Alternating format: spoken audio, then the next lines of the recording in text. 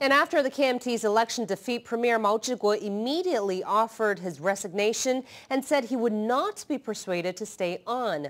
President Ma Ying-jeou gave a congratulatory phone call to President-elect Tsai Ing-wen and once again mentioned giving the party with the legislative majority the right to form a cabinet. However, Tsai refused, saying such an action would be unconstitutional.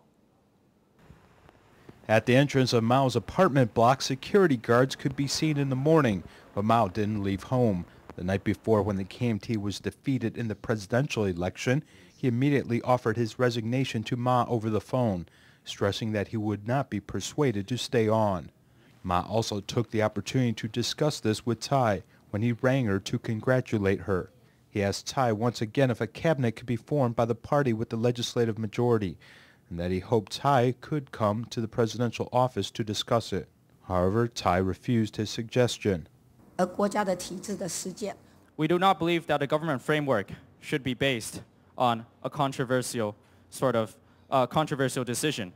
And as a result, we feel that this is a decision that is best left to um, constitutional reform discussion in the future. Tsai supports amending the Constitution and then looking at the issue. However, the new legislature is inaugurated on February 1st, and there is a long four-month period before the new president takes office.